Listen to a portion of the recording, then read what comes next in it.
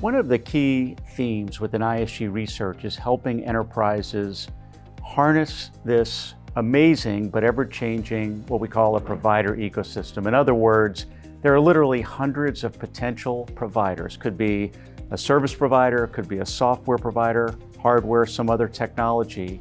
And it is tricky to identify and find the right match for those providers and understand what are the towering strengths of each one of these providers and how can you take advantage, whether it be our market studies or um, our benchmarking capability, or the way our event series is laid out to create very specific targeted networking. One of the key value adds of ISG research is to help our clients who really don't have the time or the depth to understand the provider ecosystem at the time that they're looking to make some form of transformation.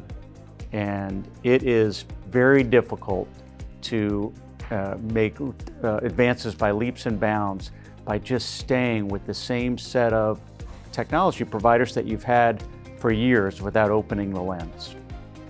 And we help open that lens.